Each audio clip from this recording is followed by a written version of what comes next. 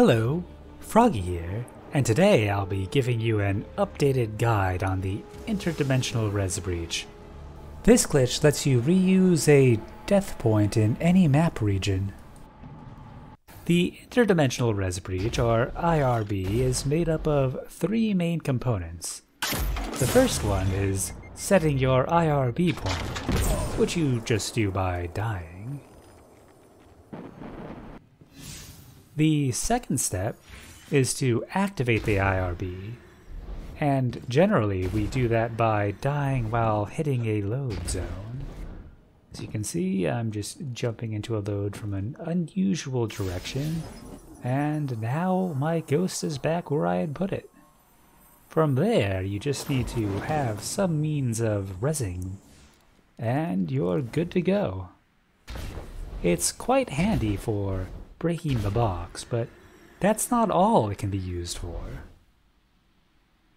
In this video, I'll be going over those three steps in detail, so you can figure those out on your own. To set your IRB point, all you need to do is die. As long as there is ground within 70 meters below where you died, the IRB will work. Contrary to our previous beliefs, this doesn't have to be on ground in the initial area, so it is useful to be able to die in midair. I recommend explosives against a sparrow with low light. If sparrows aren't available, you can also use a grenade launcher while falling to uh, die as well. For step 2, you can die to a load by approaching from a unusual angle. And as you can see, our ghost is back underneath the pole from before, since that pole was an entity. It's worth noting that there doesn't need to be any connections between the zones you do step 1 and step 2 in.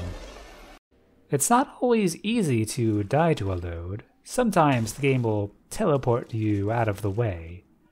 To avoid that, you can use a stasis grenade. If that's in the path of the teleportation, you'll die to the load instead. Quite handy for some of the more difficult places. Dying to a load is not the only way to activate an IRB.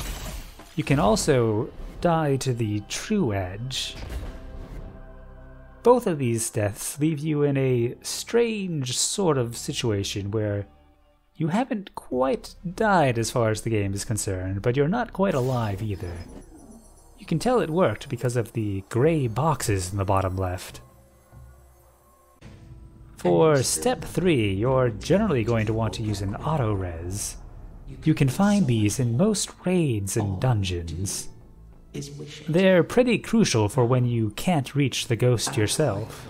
Most strikes have them too now, but they also have mission end timers.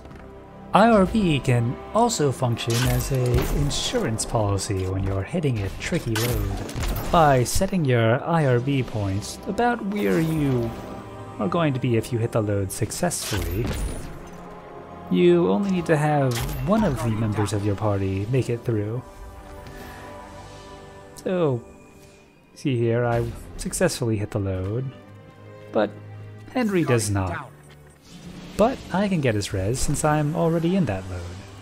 Provided that you're in a private zone going to a private zone, you can sometimes get the res from one zone over. This can be quite handy if it's easy to be outside of the map in one zone, but difficult to be there in another. So once again I'm going to use a stasis nade to help die to the load here. And there we go. I am in what's known as a hub zone. As Bachmani enters it, you can see that uh, he appears and he'll be able to get my res, even though he's in a different zone than I am. You can identify these areas by seeing the title of uh, fire team member. Once Bach leaves the uh, hub zone, his title disappears, but once he re-enters it, it appears again. And hopefully, armed with this knowledge, you can go out and use the interdimensional rez breach yourself.